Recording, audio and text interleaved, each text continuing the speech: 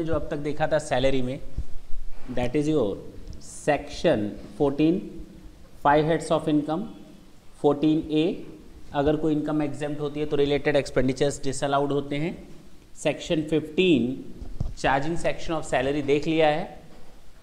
Due basis और receipt basis whichever is earlier and arrear of salary but subject to section eighty nine one section sixteen में deduction देखे थे सबसे पहला deduction था standard deduction जो कि एलिमिनेट हो चुका है उसके बाद हम लोगों ने देखा था section sixteen two entertainment allowances available only to a government employee याद रखना गवर्नमेंट एम्प्लॉय तीन में से जो सबसे कम होगा उसकी छूट मिलेगी actual amount five thousand and twenty percent of the salary क्यों सिक्सटीन थ्री एम्प्लॉयमेंट टैक्स और प्रोफेशनल टैक्स एम्प्लॉय जो भी इस अकाउंट में पे करेगा वो सब डिडक्ट हो जाएगा उसको डिडक्शन पूरी अमाउंट की मिलेगी जितना भी वो पे करेगा चाहे एम्प्लॉयर से कुछ मिले या ना मिले सेक्शन 17 में हम लोगों ने डेफिनेशन देखी थी definition of salary basic salary wages annuity pension gratuity provident fund leave encashment and commuted pension profit in lieu of salary bonus commission perquisite सलामेंसेज and section eighty double C D section seventeen two अभी हम लोगों ने नहीं देखा section seventeen three भी अभी हम लोगों ने नहीं देखा ये सारे डेफिनीशन पार्ट हैं ये डिडक्शन के पार्ट थे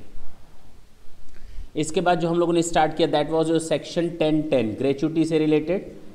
ग्रेचुटी रिटायरमेंट बेनिफिट होता है गवर्नमेंट एम्प्लॉय या नॉन गवर्नमेंट एम्प्लॉय दो पार्ट में तोड़ते हैं गवर्नमेंट एम्प्लॉय का हंड्रेड परसेंट एग्जाम्ट होता है और नॉन गवर्नमेंट एम्प्लॉय को दो पार्ट में ग्रेचुटी एक्ट टू में कवर होता है या नहीं होता अगर ग्रेचुटी एक्ट टू में कवर होता है तो तीन में से जो सबसे कम हो actual amount and half month salary fifteen divided by twenty six days salary on the basis of last drawn salary for each completed year of service और पार्ट देयर ऑफ और सैलरी का मतलब यहाँ पर बताया गया था basic salary plus D A याद आया होगा हाँ सेकेंड पार्ट हम लोगों ने देखा था not covered under the gratuity एक तीन में से जो सबसे कम होगा एक्चुअल अमाउंट टेन लैक्स या हाफ मंथ यहाँ पर हाफ मंथ का मतलब one divided by two half month salary on the basis of last ten months average salary for each completed year of service part thereof word use नहीं किया गया था salary की meaning थी basic salary plus D A if plus percentage that's it clear है फिर हम लोगों ने देखा था section ten ten A commuted pension की बात की थी हम लोगों ने कॉम्यूटेड पेंशन एम्प्लॉय दो तरह के होते हैं government and non government government का हंड्रेड परसेंट एग्जाम होता है नॉन गवर्नमेंट में को दो पार्ट में देखा था ग्रेचुटी मिलती है या ग्रेचुटी नहीं मिलती है अगर ग्रेचुटी मिल चुकी है तो one third of the hundred percent commuted pension is exempt और अगर ग्रेचुटी नहीं मिली है तो one half of the hundred percent commuted pension is exempt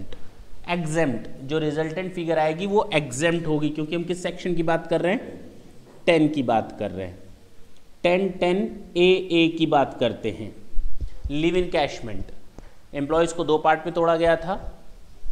government and non government government का हंड्रेड परसेंट एग्जाम होता है नॉन गवर्नमेंट को देखा गया था इन चार में जो सबसे कम हो एक्चुअल अमाउंट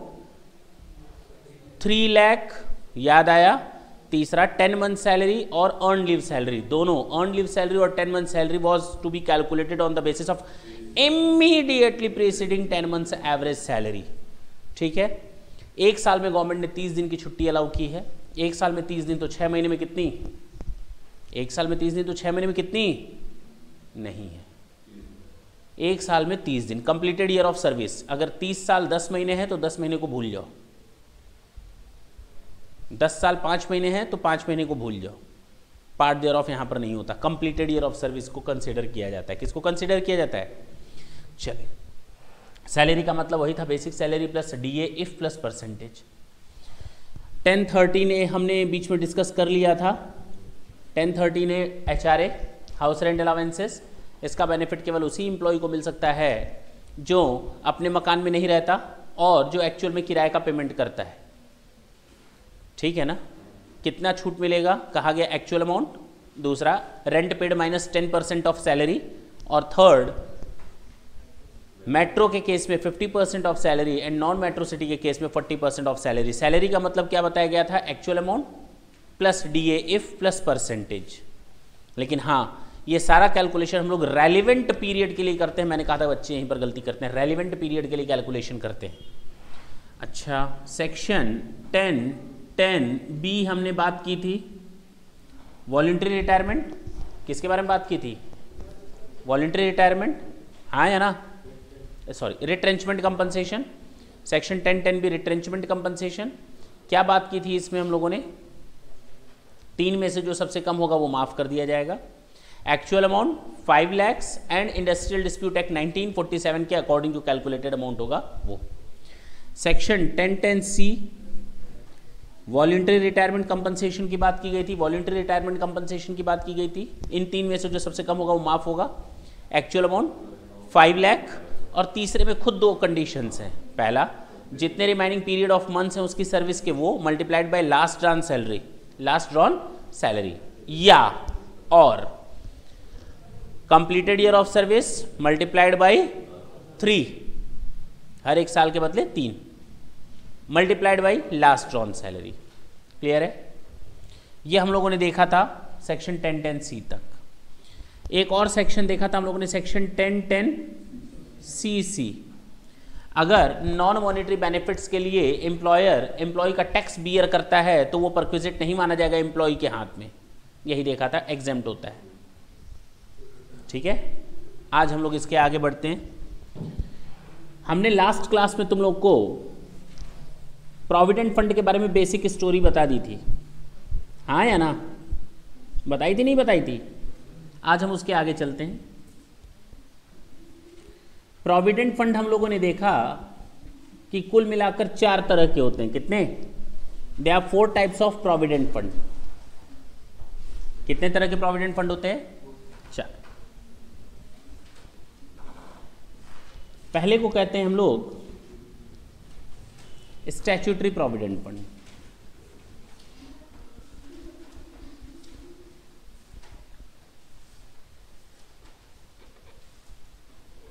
हाँ सेकंड को हम लोगों ने नाम दिया था रिकॉग्नाइज्ड प्रोविडेंट फंड याद आया जिसको हम लोग शॉर्टकट में आरपीएफ भी बोलते हैं third type of provident fund is unrecognized provident fund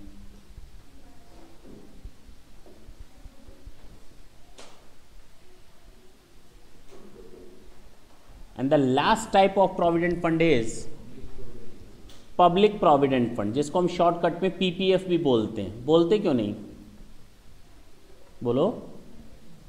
क्या पब्लिक प्रोविडेंट फंड अब इन चार प्रोविडेंट फंड्स के ट्रीटमेंट को हमें जानना है हम लोगों ने ये देख लिया था जो गवर्नमेंट एम्प्लॉयज होते हैं उनके लिए जो प्रोविडेंट फंड एप्लीकेबल होता है that is your statutory provident fund जो गवर्नमेंट एम्प्लॉयज होते हैं उनके लिए कौन सा प्रोविडेंट फंड एप्लीकेबल होता है अच्छा जो नॉन गवर्नमेंट एम्प्लॉयज होते हैं उनके लिए रिकोगनाइज एंड अनरिकॉग्नाइज्ड और सबके लिए कौन सा PPF public provident fund S P F R P F U P F Uttar Pradesh force and P P F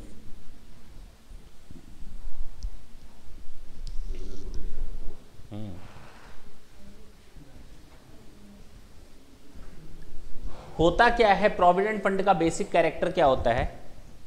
मैं एम्प्लॉयर और ये एम्प्लॉय मैं एम्प्लॉयर और ये एम्प्लॉय मैंने इसको दस हज़ार रुपये सैलरी दी कैश मैंने कहा सुन क्या तू अपने रिटायरमेंट बेनिफिट के लिए कुछ पैसा देगा क्या तेरे लिए मैं प्लानिंग करूं इसने कहा ठीक है मैंने इसकी सैलरी में से एक हज़ार काटा सुन इसकी सैलरी से कितना काटा एक हज़ार रुपये मैंने इसकी सैलरी से चार्ज कर लिया डिडक्ट करके यानी इसको मैंने सैलरी इन हैंड कितनी दी नाइन थाउजेंड मेरे हाथ में कितना आया इसका एक हज़ार मैं इसके अकाउंट में कितना ट्रांसफ़र करूंगा एक हज़ार इसका वाला और एक हज़ार मैं अपनी जेब से निकालूंगा और ऐसे जोड़ करके उसको ट्रांसफ़र करूंगा यानी इसके अकाउंट में कितना ट्रांसफ़र करूंगा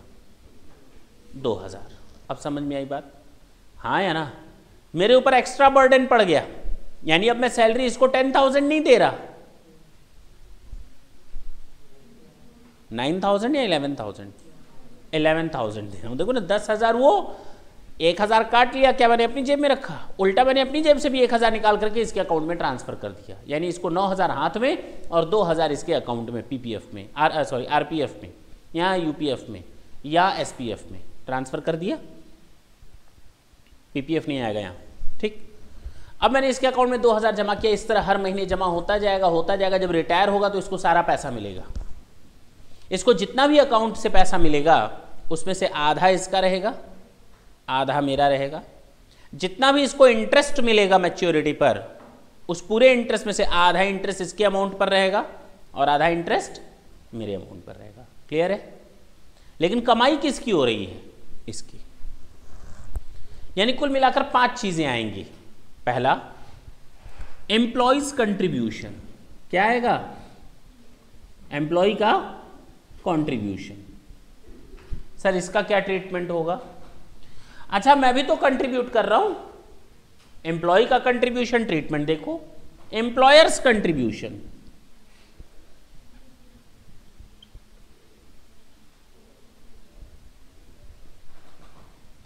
हाँ या ना एम्प्लॉयज कंट्रीब्यूशन पर इंटरेस्ट नहीं आएगा आएगा इस पर इंटरेस्ट ऑन एम्प्लॉयज कंट्रीब्यूशन और किस पर इंटरेस्ट आएगा इंटरेस्ट ऑन एम्प्लॉयर्स कंट्रीब्यूशन नहीं आएगा आएगा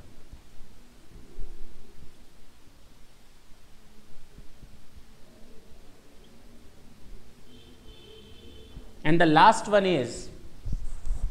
last one is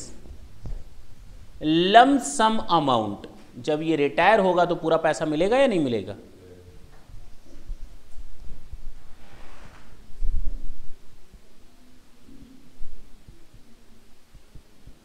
लमसम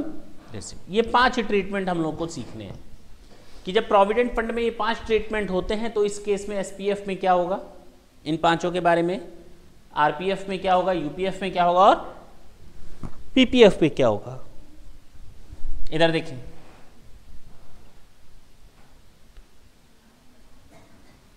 अगर हम बात करें एसपीएफ की इसका कंट्रीब्यूशन है क्या गवर्नमेंट को सपोर्ट करना चाहिए ये जो पैसा जमा कर रहा है एक हज़ार निकाल करके जमा कर रहा है प्रोविडेंट फंड अकाउंट में क्या गवर्नमेंट इसको सपोर्ट करेगी क्या ये गवर्नमेंट का कोई भला कर रहा है बोलते क्यों नहीं हाँ अपनी वृद्धावस्था में अपनी ओल्ड एज में ये गवर्नमेंट के ऊपर डिपेंड नहीं रहेगा ये अपने अमाउंट पर जिंदा रहेगा क्यों पक्की बात है ना तो गवर्नमेंट भी सपोर्ट करती है तो गवर्नमेंट ने कहा जो एम्प्लॉय कंट्रीब्यूशन देगा ना उसको छूट दो क्योंकि मैंने इसको सैलरी कितनी दी दस हजार ग्यारह हजार या नौ हजार दस हजार तुम्हारा जो सैलरी का बेस था वो तो दस हजार था वो तो तुम में से एक हजार काटा तो मजबूरी में मुझे एक हजार और लगाना पड़ा लेकिन सैलरी तुम्हारी कितनी फिक्स है कंपनी में टेन थाउजेंड अब तुम्हारी सैलरी टेन थाउजेंड फिक्स है एक हजार मैंने तुम्हारे में से निकाल लिया अब बताओ गवर्नमेंट को टैक्स कितने पर लेना चाहिए नौ हज़ार पर या दस हज़ार पे नौ हज़ार पे जो मैंने तुम्हें salary the that was your ten thousand एक हज़ार जो तुम्हारा में से मैंने काटा है क्या उसको डिडक्ट करना चाहिए हाँ और डिडक्ट करोगे तब डिडक्ट करोगे जब ये एडेड होगा ना यहाँ पे इस दस हज़ार में ऑलरेडी जुड़ा हुआ है ना वो एक हज़ार इसीलिए एक हज़ार की छूट देंगे और जब एम्प्लॉय को टोटल अमाउंट से डिडक्शन दी जाती है वो डिडक्शन सेक्शन 80 में दी जाती है मालूम मैंने तुम लोग को बताया भी है कि डिडक्शन कहाँ से दी जाती है कोई चीज़ एडेड होती है एडिशन में हो तो डिडक्शन मिलती तो एडिशन में था उसमें से डिडक्शन दे दिया गया सेक्शन 80 की डिडक्शन मिल गई और इसका नाम है सेक्शन 80 सी ठीक पक्की बात एम्प्लॉयर का कंट्रीब्यूशन मुझे तुम्हारी सैलरी कितनी देनी थी दस हज़ार लेकिन तुम्हारी सैलरी हो कितनी गई ग्यारह हज़ार अब पहले मैं एक हज़ार जोड़ू तुम्हारी सैलरी में और उसके बाद एक हज़ार की छूट ले लू यही तो करोगे बोलते क्यों नहीं है तो जेनविन चीज़ तो न जोड़ो न घटाओ क्या दे दो जब कोई इनकम इनकम नहीं मानी जाती तो क्या माना जाता है एग्जेम्शन क्या माना जाता है न इनकम में जोड़ो ना घटाओ एग्जेम्शन दे दो अरे यहां तो जुड़ा हुआ था तो मजबूरी थी डिडक्शन देना यहां अब जोड़ोगे फिर घटाओगे उससे अच्छा क्या दे दो एग्जेम्शन सेक्शन टेन का एग्जेम्शन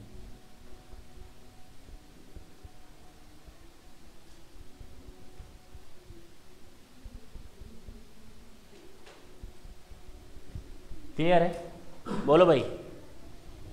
इसकी बात करते हैं इंटरेस्ट ऑन एम्प्लॉयज कंट्रीब्यूशन इसके खाते में हर साल पैसा बढ़ रहा है इंटरेस्ट का एम्प्लॉयज के कंट्रीब्यूशन पर बढ़ रहा है तो क्या इसकी इनकम नहीं है वो इनकम है ना लेकिन अच्छी चीज के लिए या खराब चीज के लिए अच्छी चीज के लिए रूल्स के अकॉर्डिंग है या बिना रूल्स के अकॉर्डिंग है रूल्स के अकॉर्डिंग है तो पहले इसकी इनकम मान लो फिर छूट दे दो अच्छी बात है क्या क्या दे दो उससे अच्छा एग्जामेशन दे दो देखो तुम लोग को मालूम है न जोड़ो न घटाओ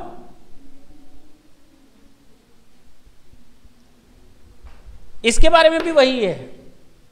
ये एम्प्लॉयर के पैसे को पहले इसकी इनकम में जोड़ो फिर डिडक्ट दो क्या फायदा ना जोड़ो ना घटाओ क्या दे दो एग्जेम्प्ट कर दो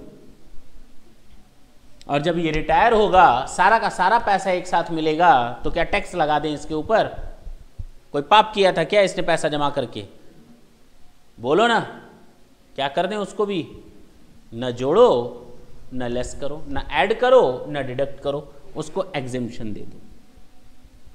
अब क्लियर है ये हुआ हम लोग का स्टेचुटरी प्रोविडेंट बहुत आसान बहुत ही आसान अब हम बात करेंगे किसकी रिकॉग्नाइज्ड प्रोविडेंट फंड की सेम वही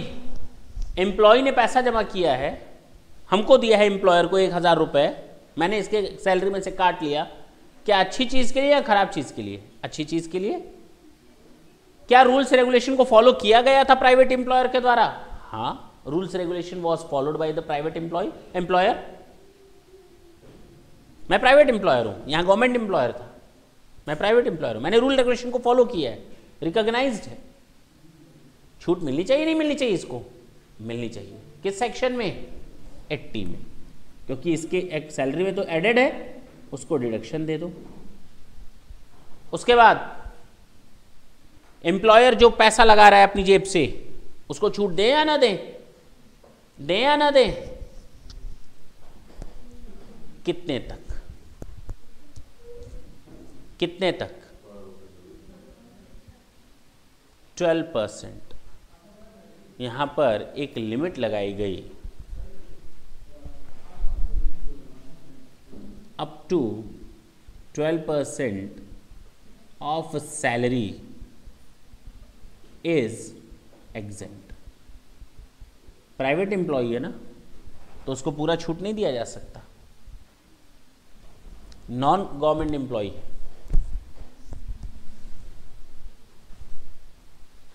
twelve percent तक माफ है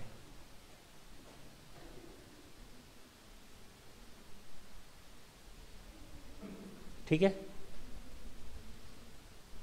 क्लियर है सर अगर 12 परसेंट तक माफ है तो इसका मतलब 12 परसेंट से ऊपर का अगर कोई कंट्रीब्यूशन हो तो क्या होगा सोच लो हाँ 12 परसेंट से ऊपर का अगर कंट्रीब्यूशन है एम्प्लॉयर का तो वो टैक्सेबल होगा कहाँ लिखा है ये कहां लिखा है कि ये ट्वेल्व परसेंट से ऊपर का टैक्सेबल होगा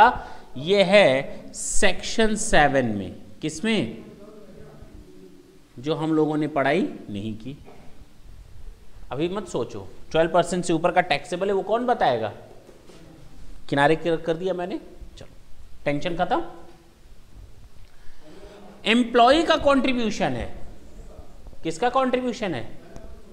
एम्प्लॉय का अगर एम्प्लॉय का कंट्रीब्यूशन है तो क्या टैक्स लगा दें इंटरेस्ट ऑन एम्प्लॉयज कंट्रीब्यूशन है तो क्या टैक्स लगा दें बोलते क्यों नहीं बोलते क्यों नहीं इंटरेस्ट ऑन एम्प्लॉयज कंट्रीब्यूशन है तो टैक्स लगा दोगे ना माफ करेंगे ना तो ऐड करेंगे न डिडक्ट करेंगे क्यों ऐसा ही है क्या कुछ इसमें भी लिमिट लगाई जानते हो कितने परसेंट तक चाहे एम्प्लॉयर का कंट्रीब्यूशन हो चाहे एम्प्लॉयज़ का कंट्रीब्यूशन हो दोनों केसेस में जितना भी इंटरेस्ट मिलेगा वो माफ़ होगा 9.5 परसेंट तक कहाँ तक 9.5 परसेंट तक up to 9.5 percent is exempt लेकिन अगर इंटरेस्ट रेट इससे अधिक रहेगा तो तो तो कहा कौन बोलता है अरे तुम लोग को तो मालूम है सेक्शन सेवन बोलता है माफ करने के बारे में बोला गया है तो इसके ऊपर का टैक्सेबल किसने बोला इसने बोला इसके ऊपर टैक्स लगेगा इसका मतलब यहां तक माफ रहेगा अब क्लियर है इसने बोला 9.5 तक के ऊपर टैक्स लगेगा इसका मतलब 9.5 तक कोई टैक्स अच्छा अब चाहे यहां इंप्लॉय का इंटरेस्ट था चाहे इंप्लॉयर हम दोनों की बात कर रहे थे ठीक है ना अब हम इसकी बात करते हैं आपको जितना टैक्स लगाना था ना लगा चुके हैं अब जब एक साथ लमसम पैसा मिलेगा तो अब कोई टैक्स नहीं लगेगा एग्जेम्प्ट हो जाएगा अब तुम लोग कहोगे सर कहाँ टैक्स लगा था अरे 9.5 परसेंट के ऊपर टैक्स नहीं लगा था इसका मतलब सारे पर टैक्स लग गया अरे 12 परसेंट तक तो टैक्स माफ था उसके ऊपर टैक्स लगा था लगा था कि नहीं लगा था इसका मतलब ऑलरेडी टैक्स है ऑलरेडी टैक्स है ये तो मुझे डिडक्शन मिली है रूल्स के हिसाब से काम करने की सड़क के दाएं तरफ चलते हैं तो पेनाल्टी लगती है बाएं तरफ चलने पर इनाम नहीं मिलता है कि नहीं हाँ ये समझ में आई बात नोट कर लें दोनों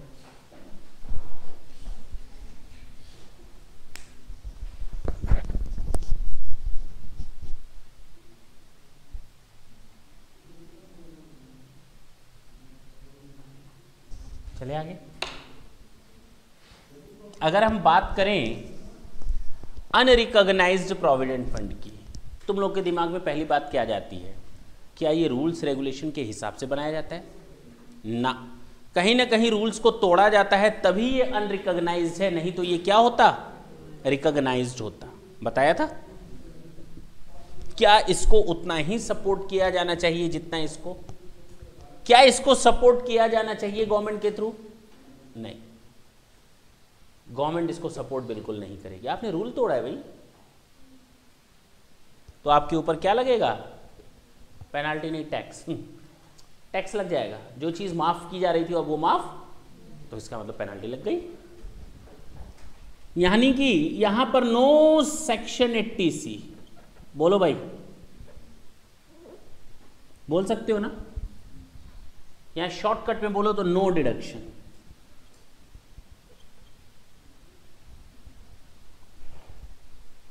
क्लियर कोई डिडक्शन नहीं मिलेगी एम्प्लॉयर का कंट्रीब्यूशन हो तो एम्प्लॉयर का कंट्रीब्यूशन हो तो माफ कर दोगे उसको कि टैक्स लगाओगे कहा गया माफ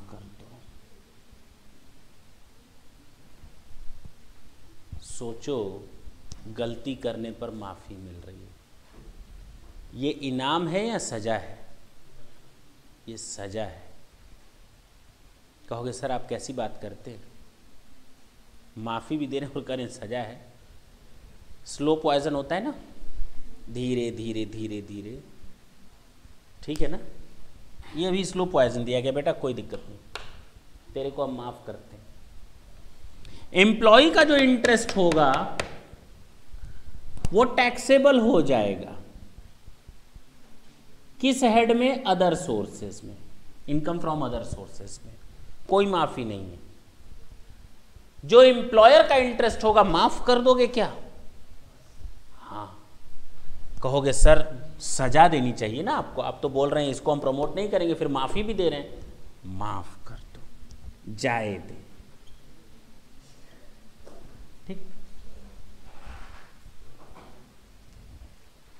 सुनो ढंग से लास्ट जब एक साथ पैसा मिलेगा ना आपको दस लाख बीस लाख तब गवर्नमेंट कहेगी बेटा खूब माफ़ी मना लिए अब एक साथ सारा टैक्स यहीं पर दो अगर हम हर साल दो दो हज़ार करके टैक्स देते तो ज़्यादा बड़ी बर्डन नहीं होती एक लाख पर दो हज़ार तीन हज़ार चार हज़ार पाँच हज़ार दस हज़ार ऐसे टैक्स बनता अचानक पाँच लाख रुपए पर जब टैक्स बनाओगे वो बहुत ज़्यादा बनेगा है कि नहीं तब गवर्नमेंट ने कहा बेटा यहाँ पर एम्प्लॉयर वाले को तो हमने माफ़ कर दिया जितना टैक्स लगाना था उस पर टैक्स लग चुका अब किसकी बारी अब जितना पैसा मिलेगा उसको दो पार्ट में बांटो एम्प्लॉय का अलग करो जिस पर ऑलरेडी टैक्स लग चुका है उसको माफ़ करो उस पर दोबारा टैक्स लेकिन जिसको हम माफ किए हैं एम्प्लॉयर के अमाउंट को उस पर आज टैक्स देने का वक्त आ गया है लेकिन ये टैक्स देगा कौन एम्प्लॉयर ना एम्प्लॉय क्योंकि पैसा किसको मिल रहा है एम्प्लॉय को तो taxable only employer's contribution and interest thereof बात समझ में आई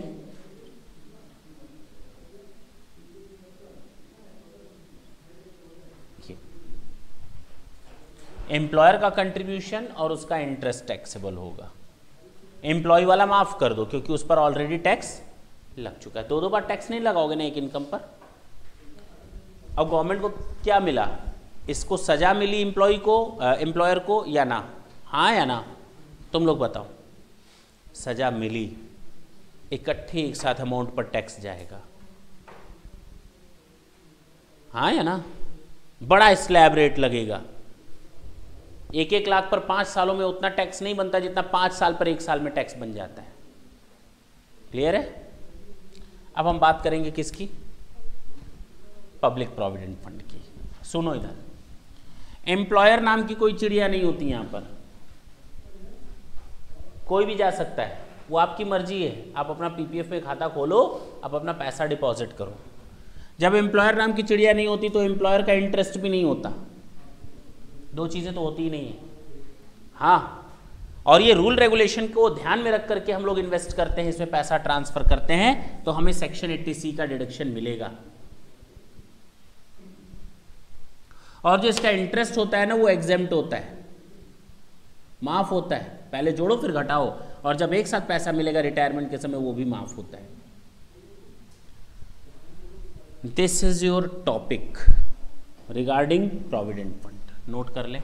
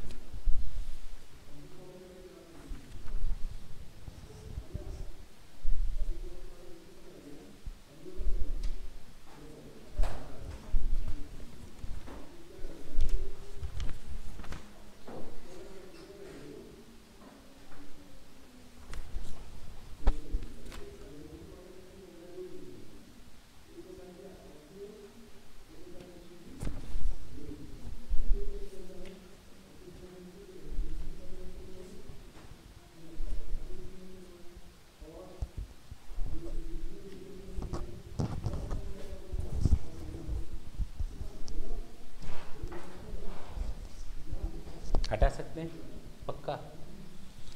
सर इसके बारे में बताइए अच्छा एक और चीज़ क्या पब्लिक प्रोविडेंट फंड में आप जितना पैसा चाहो उतना ट्रांसफर कर सकते हो there is a restriction there is a limit limit of rupee one lakh per annum maximum contribution can be made by any assessee in any single previous year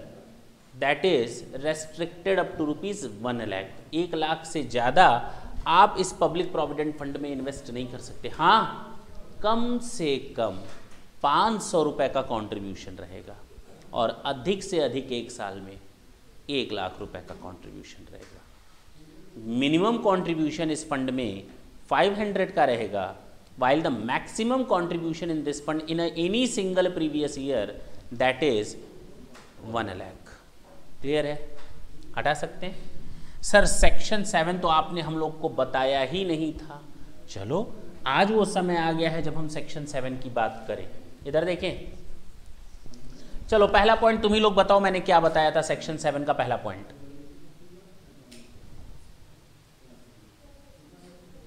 कि 12 परसेंट के ऊपर का टैक्सेबल होगा as per section seven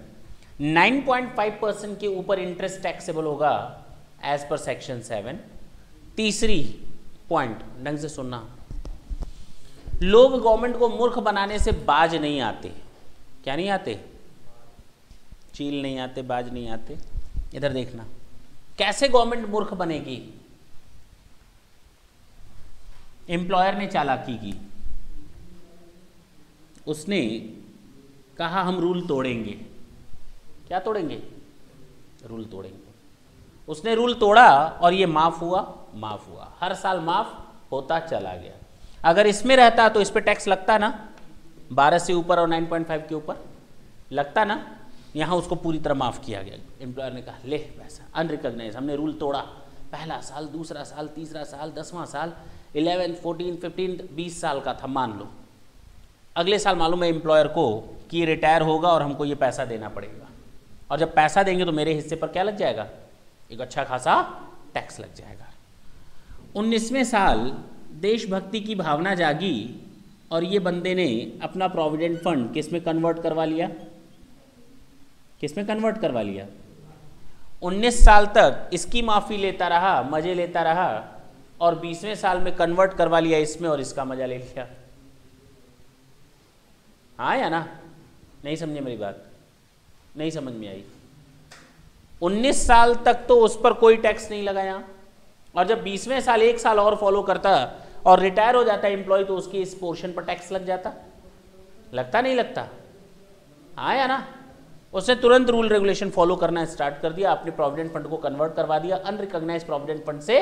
recognised provident fund तो अब जो lump sum पैसा मिलेगा क्या वो टैक्सेबल होगा गवर्नमेंट समझ गई बेटा तू डाल डाल मैं पात पात हम इस पर भी टैक्स लगाएंगे जब कभी भी आप अनरिकग्नाइज प्रोविडेंट फंड से रिकग्नाइज प्रोविडेंट फंड में जाओगे जब कभी भी आप रिकग्न अनरिकग्नाइज से रिकग्नाइज में आओगे तो जितना टैक्स आपने बचा लिया है ना वो पहले टैक्स चुकाओ उसके बाद यहां जाओ और कौन कहेगा कि टैक्स चुकाओ सेक्शन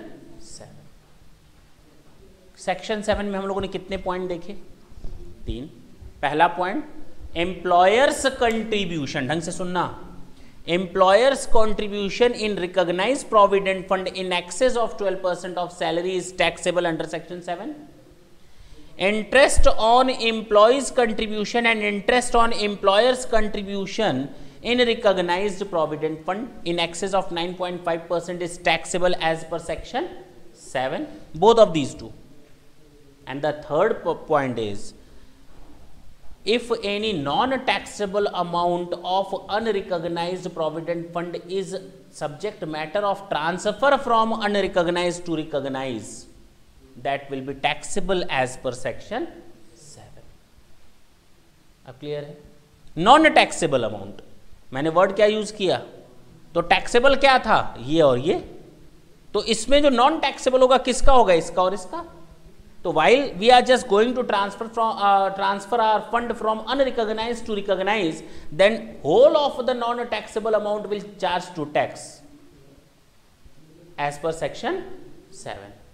क्या है ये सेक्शन सेवन इसकी हेडिंग दी गई है income deemed to be received क्या है सेक्शन सेवन की हेडिंग क्या है income deemed to be received चलो भाई कितने पॉइंट हैं चार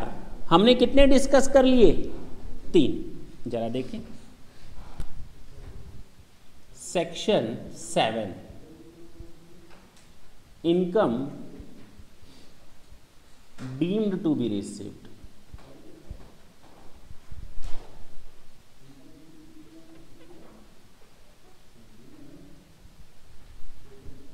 first मैंने वर्ड यूज किया income deem to be receipt in India नहीं यूज किया है कंफ्यूज कभी मत हो जाना इसको लिख लो और ऐसे काट दो हमेशा याद रहेगा कि हम लोग इन इंडिया वर्ड यूज नहीं करेंगे income deem to be received में तीन पॉइंट हम लोगों ने डिस्कस कर लिया पहला employer's contribution P F in excess of what 12 percent of बोलते क्यों नहीं तुम लोग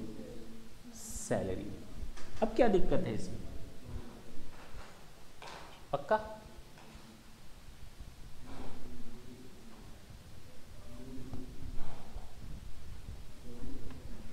point number two interest on recognized provident चाहे वो एम्प्लॉयर का हो चाहे वो एम्प्लॉय का हो कोई फर्क नहीं पड़ता interest on recognized provident fund in excess of how much 9.5 percent interest rate not of salary non taxable amount transfer from unrecognized provident fund to recognized provident note करें तीनों पॉइंट और फोर्थ है जिसके बारे में हम लोग आराम से सेक्शन 80 सी सी डी में बात करेंगे तो employer's contribution under section 80 C C D ये आएगा जब 80 सी सी डी तो उस समय मैं तुम लोग को बताऊंगा देखो सेक्शन सेवन में था सेक्शन सेवनटीन में सेवनटीन वन में भी था और आज फिर हम लोग इसको स्टडी कर रहे हैं किसमें section eighty C C T में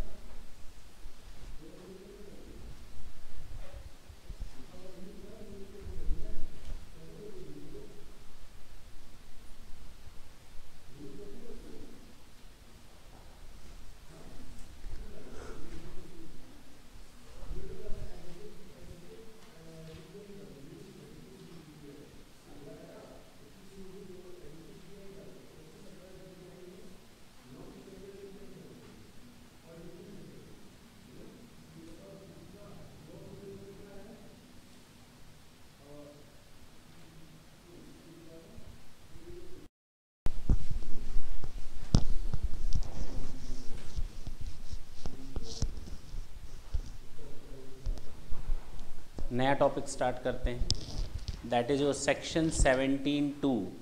perquisites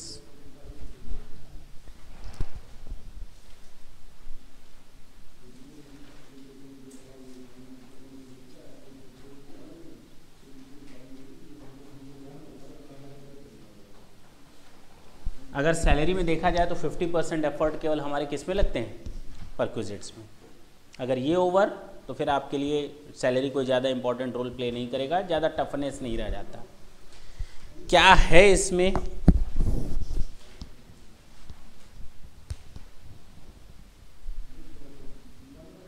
हमने आप लोगों को बताया था एक एम्प्लॉयर अपने एम्प्लॉय को या तो मॉनिटरी बेनिफिट्स देता है अपने एम्प्लॉय को जो भी बेनिफिट्स देगा अदर देन सैलरी या तो वो मॉनिटरी बेनिफिट्स होंगे बोलो या नॉन मॉनिटरी या तो कैश में दिए जाएंगे या नॉन कैश में दिए जाएंगे सर कौन कौन से ऐसे बेनिफिट्स हैं एम्प्लॉयर ने आपको हाउस रेंट अलाउेंसेस दिया हर महीने आपकी सैलरी थी दस हज़ार एम्प्लॉयर ने आपको दो हज़ार रुपये एक्स्ट्रा दिया एच के नाम से अब आपको सैलरी कितनी मिल रही है ट्वेल्व थाउजेंड और इस बारह हज़ार में दो हज़ार क्या मिल रहा है हाउस रेंट अलाउंसेस कैसे मिल रहा है कैश में मिल रहा है एम्प्लॉयर चाहता तो आपको दस हज़ार की सैलरी दे देता और आपको एक हाउस दे देता रहने के लिए ये ना दे करके आपको क्या दे देता एक क्वार्टर या घर दे देता जिसको हम लोग नाम देते हैं रेंट फ्री अकोमोडेशन या कंसेशनल रेंट अकोमोडेशन फिलहाल हम कंसेशनल की बात नहीं कर रहे एम्प्लॉयर आपको एक घर दे देता रहने के लिए फ्री में तो क्या आपको वो घर भी देगा और एच भी देगा दोनों चीज़ें एक साथ दे सकता है घर भी ले लो और किराया भी किसी को देते रहना ये कौन सी बात होती है या तो घर देगा या तो किराए का हिस्सा देगा दो में से कोई एक बेनिफिट देगा तो जब ये बेनिफिट दिया जाता है इसको हम कहते हैं अलावेंसेस नॉर्मली इसको क्या बोलते हैं अलावेंसेस और दूसरा जो होता है जब नॉन मॉनिटरी बेनिफिट्स दिए जाते हैं इनको बोला जाता है परक्विजिट्स नॉर्मली ये नॉन कैश होते हैं नॉर्मली ठीक है ना नॉर्मली ये क्या होते हैं नॉन कैश होते हैं आएगा जब कैश वाला तो मैं बता दूंगा देखो हमने नॉर्मली बोला था हर जगह नहीं बोला था ठीक है ना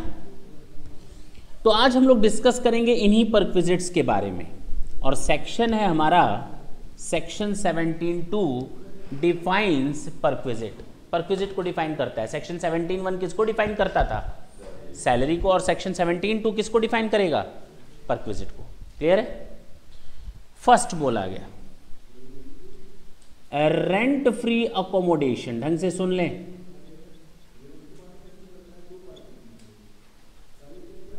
provided by employer to employee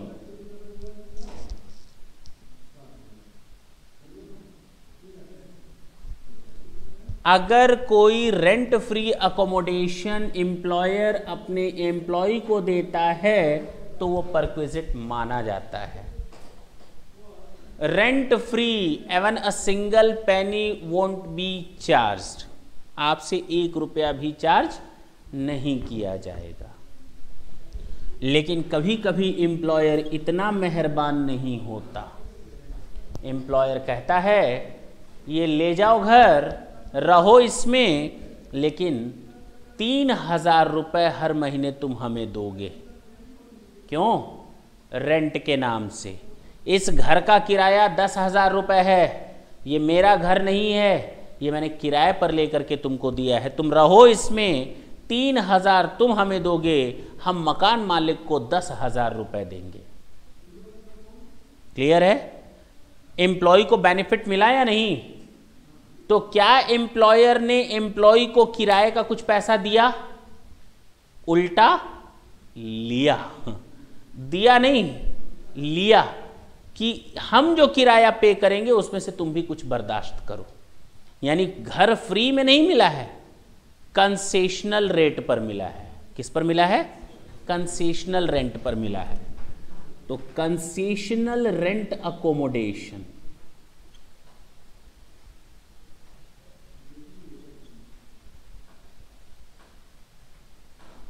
provided by employer to employee बोलते क्यों नहीं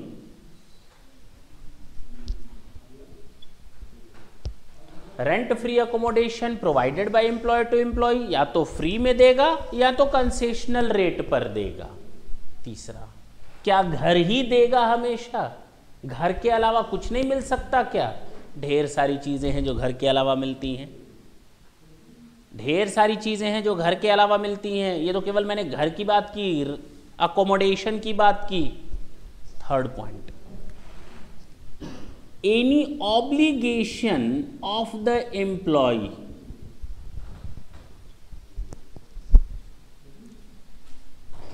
Jab We Met is met by the employer any obligation of employee is met by the employer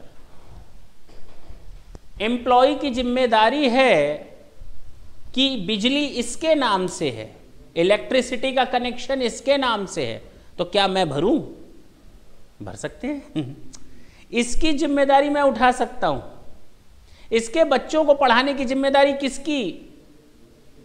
इसकी मैं उठा सकता हूं नहीं उठा सकता बोलते क्यों नहीं चुप क्यों हाँ उठा सकते हैं तुम्हें क्यों सांप सूंगे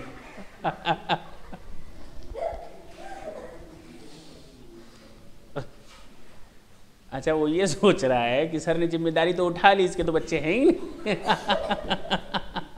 सुनो सपोज कर रहे हैं अपोज नहीं कर रहे देखो सुनो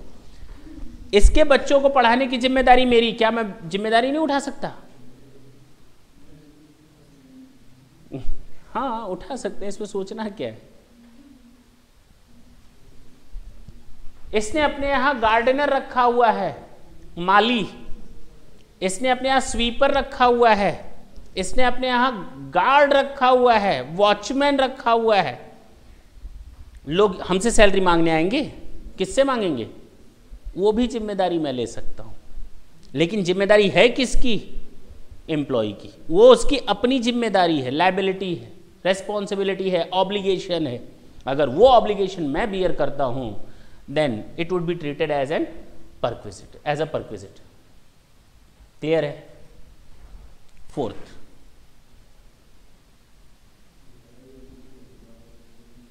any benefit provided by employer to employee either at free of cost कोई भी ऐसी बेनिफिट एम्प्लॉयर अपने एम्प्लॉय को देता है या तो फ्री में अदर देन हाउस या तो फ्री में या कंसेशनल रेट पर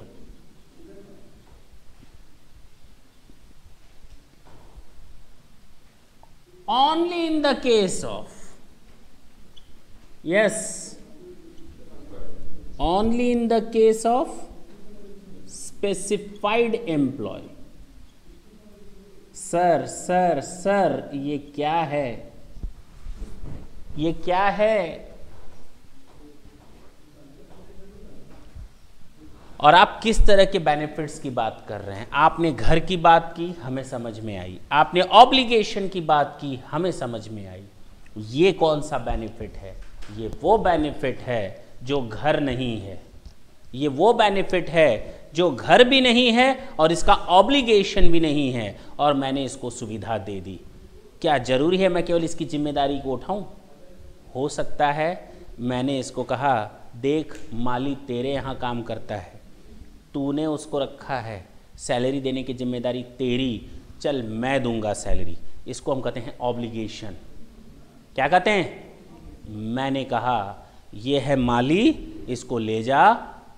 इसको ले जा अपना गार्डन ठीक करवा सैलरी मैं दूंगा क्या इसका ऑब्लिगेशन है वो अगर मैं इसको माली दे रहा हूं तो उसका जिम्मेदार कौन मैं इलेक्ट्रिसिटी का कनेक्शन इसके नाम है बिल मैं भर रहा हूँ तो इसकी जिम्मेदारी मैं उठा रहा हूँ ऑब्लिगेशन मैं उठा रहा हूँ कहाँ टैक्सेबल होगा थर्ड पॉइंट में लेकिन कनेक्शन मैंने लगवाया कनेक्शन मेरे नाम से है तो जिम्मेदारी किसकी बोलते क्यों नहीं तुम लोग मेरी हाँ तो किस में आएगा थर्ड पॉइंट में या फोर्थ में फोर्थ में अब समझ में आई बात समझ में आई सर ये केवल स्पेसिफाइड एम्प्लॉय में हाँ अगर किसी एम्प्लॉय का ऑब्लिगेशन एम्प्लॉयर बर्दाश्त करता है तो एम्प्लॉय किसी भी टाइप का हो वो टैक्सेबल होगा उसके हाथ में सैलरी मानी जाएगी क्योंकि हम लोगों ने सैलरी की डेफिनेशन में पढ़ा था basic salary wages annuity pension gratuity provident fund living encashment commuted pension perquisite और अलावेंसेस पढ़ा था नहीं पढ़ा था परक्विजिट वहाँ टैक्सेबल किया था ना सेक्शन सेवनटीन वन में ये वही है परक्विजिट्स की बात कर रहे हैं ये टैक्सेबल होता है एज अ सैलरी तो अगर कोई मैंने इसको बेनिफिट दिया है जो इसका ऑब्लिगेशन नहीं है और मैंने बेनिफिट दिया है इसको या तो फ्री में या कंसेशनल रेट में तो वो टैक्सेबल होगा केवल किस एम्प्लॉय के केस में अब बात समझ में आई बिल्कुल क्लियर है अगर एम्प्लॉय का कोई ऑब्लिगेशन नहीं है और एम्प्लॉयर उसको फैसिलिटी देता है तो केवल टैक्सेबल होगा वो इफ स्पेसिफाइड एम्प्लॉय के केस में नॉन स्पेसिफाइड के केस में वो टैक्सेबिलिटी अराइज नहीं होगी तो सर हमें ये भी तो बताएं कि स्पेसिफाइड एम्प्लॉय होता कौन है ये तीन तरह के एम्प्लॉय स्पेसिफाइड एम्प्लॉय होते हैं ये तीन तरह के एम्प्लॉय स्पेसिफाइड एम्प्लॉय होते हैं पहला वो पहला वो जो कंपनी का डायरेक्टर हो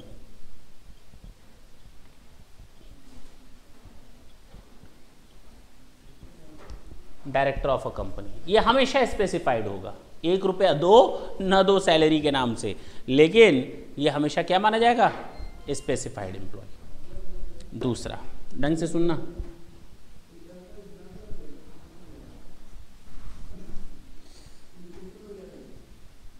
कोई भी ऐसा एम्प्लॉय जिसका उस फर्म में उस कंसर्न में या उस कंपनी में सब्सटेंशियल इंटरेस्ट हो क्या हो सब्सटेंशियल इंटरेस्ट हो if any employee holds substantial interest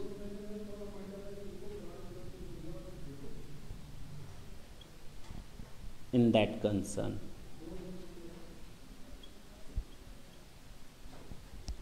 अरे सर पहले तो ये बताइए सब्सटेंशियल इंटरेस्ट का मतलब क्या है सब्सटेंशियल इंटरेस्ट का मतलब 20 परसेंट वोटिंग पावर यानी कि इक्विटी शेयर होल्ड करना बोलो ना कम से कम 20 परसेंट अगर वोटिंग पावर है किसी इंप्लॉय का जिस कंपनी में वो इंप्लॉय है उस कंपनी के 20 परसेंट शेयर भी रखा हुआ है तो क्या हो गया उसका सब्सटेंशियल इंटरेस्ट या हो सकता है वो कंपनी ना हो लेकिन उस फर्म का 20 परसेंट प्रॉफिट शेयरिंग रेशियो उसका अपना हो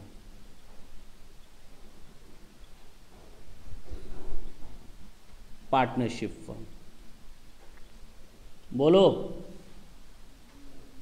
या यहाँ पर कंपनी हो तो कंपनी के केस में 20 परसेंट वोटिंग पावर और नॉन कंपनी के केस में पार्टनरशिप के केस में 20 परसेंट प्रॉफिट शेयरिंग रेशियो बात तो वही पड़ी इसको हम कहते हैं सब्सटेंशियल इंटरेस्ट कंसर्न का मतलब समझ में आ गया या तो कंपनी होगी या तो पार्टनरशिप होगी क्लियर है बात समझ में आई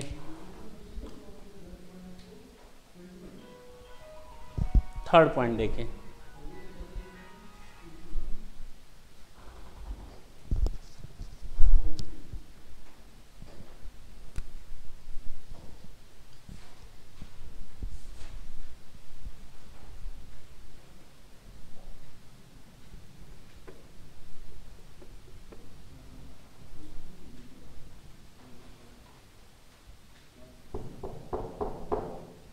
पहला पॉइंट मैंने बताया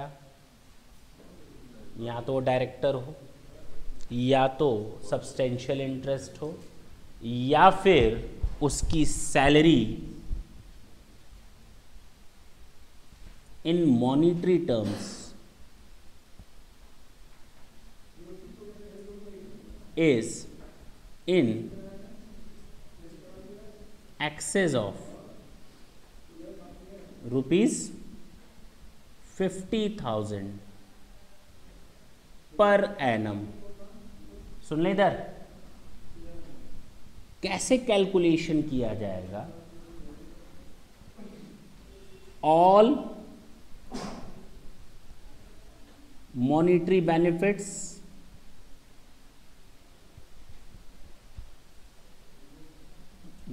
less deduction under section 16.2 and 16.3 ये चीज़ वो पॉइंट है जहाँ पर बच्चे तो बच्चे बड़े भी गलतियाँ कर देते हैं ठीक है ना नोट कर ले इसको पहले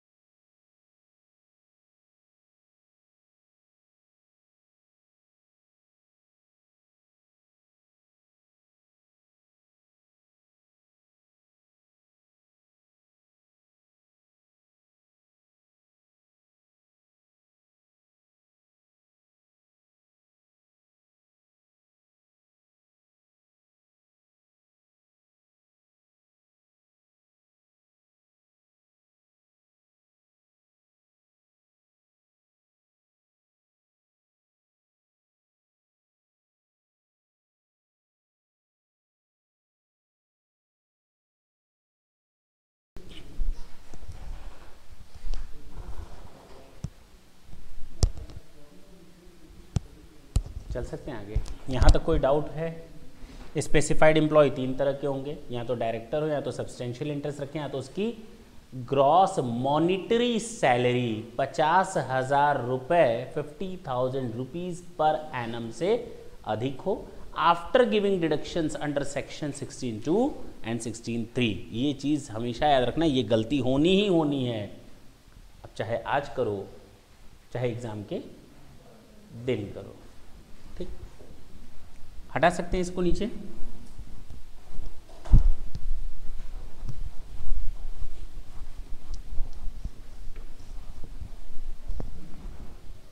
point number five rent free accommodation देख लिया कंसेशनल रेंट अकोमोडेशन देख लिया कोई भी ऑब्लिगेशन तो एम्प्लॉय का एम्प्लॉयर बियर करता है तो वो टैक्सेबल होगा लेकिन अगर कोई एम्प्लॉयर अपने एम्प्लॉय को बेनिफिट देता है जो कि स्पेसिफाइड एम्प्लॉय है उसकी ऑब्लिगेशन नहीं है तो केवल टैक्सेबल होगा स्पेसिफाइड एम्प्लॉय के केस में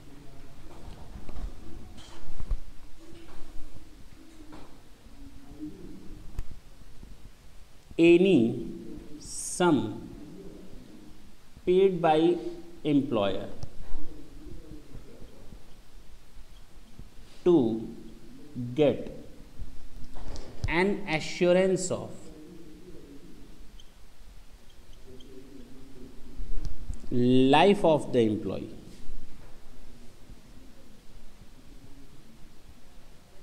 it means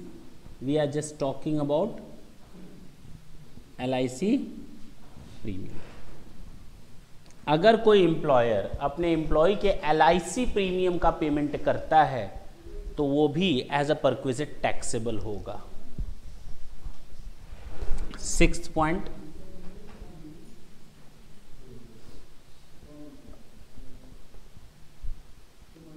allotment of sweat equity shares allotment of sweat equity shares under the scheme of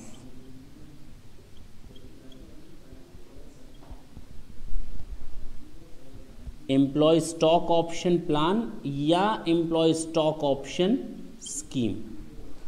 either at free or at what concessional rate अगर कोई कंपनी अपने एम्प्लॉय को कहती है कि आप हमारी कंपनी में शेयर होल्डर बन जाओ क्यों एक एम्प्लॉय की तरह काम कर रहे हो आप भी हमारी कंपनी में एज अ मालिक की तरह काम करो शेयर होल्डर की तरह काम करो हम आपको स्वेट इक्विटी शेयर्स इशू करते हैं मार्केट से यही शेयर खरीदोगे तो बेटा सौ रुपये का पड़ेगा तुम एम्प्लॉय हो कंपनी के हम तुम्हें अस्सी रुपये में देंगे मंजूर सामने वाले का मंजूर और उसने सौ शेयर खरीद लिए कितने का फ़ायदा मिला एक शेयर पर बीस रुपए तो सौ शेयरों पर दो हज़ार रुपये two thousand rupees would be charged as a perquisite in the hands of the employee दो हजार रुपये परक्विजिट की तरह टैक्सेबल हो जाएंगे any contribution any contribution made by employer in superannuation fund in superannuation fund in excess of rupees 1 lakh per annum. क्यों? Last any fringe benefits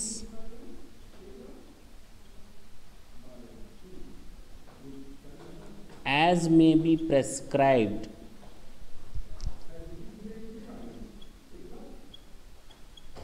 under this Act.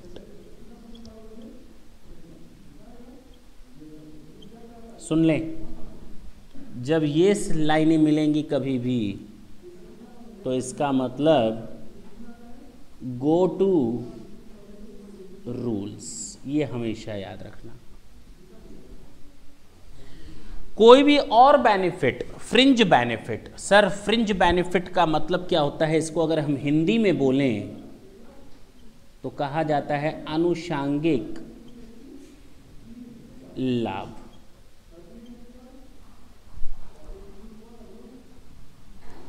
ठीक है फिलहाल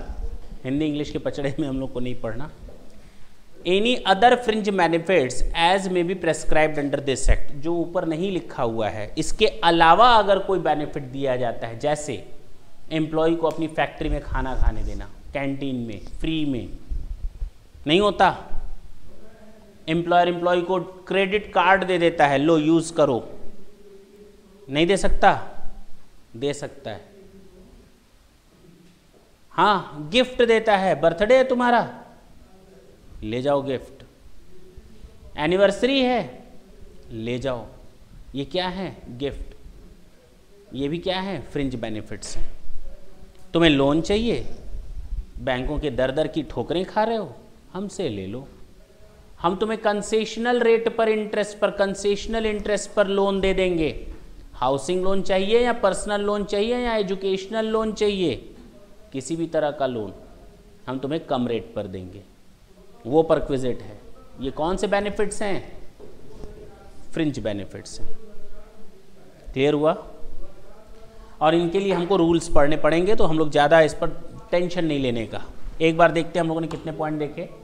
पहला rent free accommodation concessional rent accommodation obligation of the employee any other benefits in case of specified employee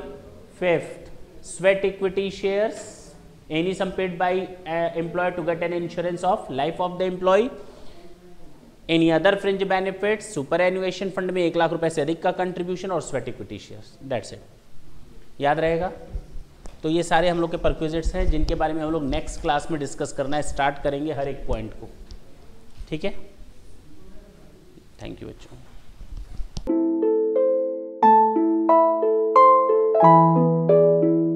Thank you.